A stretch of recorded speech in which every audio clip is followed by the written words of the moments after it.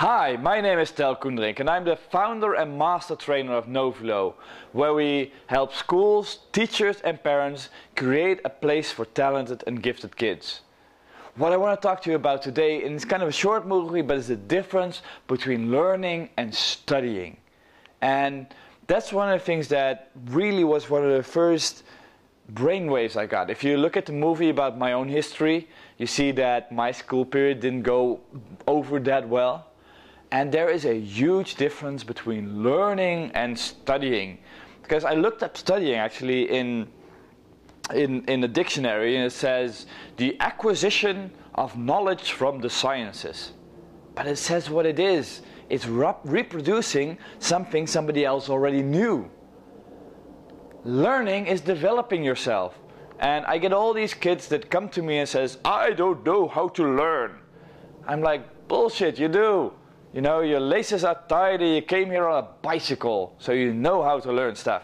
You just don't know how to study. You might not be as good as taking this boring book and putting the stuff in your head and then taking the stuff from your head and putting it on paper. That's a different skill. And Renzulli made the difference as well.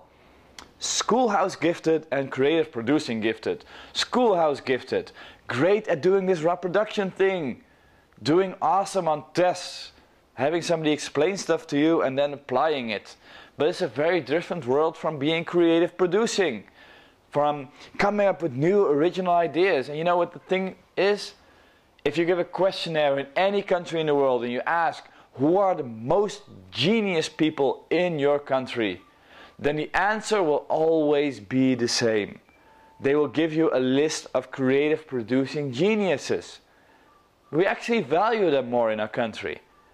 But the thing is, the school system doesn't.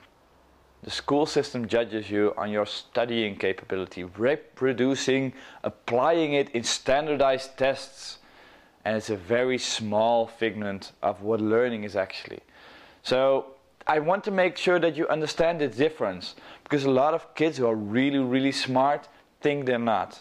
Why? Because they don't really get along in the standardized testing school environment. So make sure you keep those two separate. It's a different thing. And if you learn to learn, you're going to be fine.